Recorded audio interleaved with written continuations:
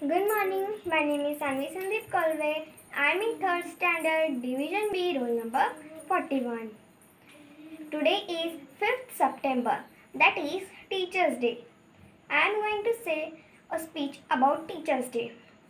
Good morning, respected principal, teachers, and my dear friends.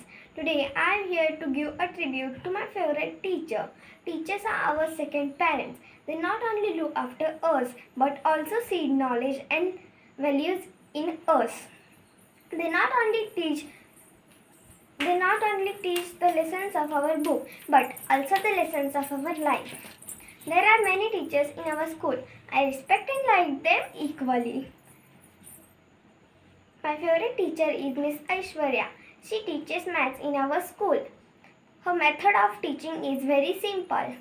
She always tried her level best to help her students. We I love my teacher very much. She is our class teacher. We I wish all teachers happy Teachers Day. Thank you.